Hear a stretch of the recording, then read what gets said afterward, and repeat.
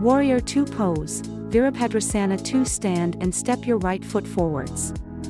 Open your left foot 90 degrees and extend your right arm forwards. Keep the left arm straight and look to the right. This pose strengthens the legs and helps the body maintain balance.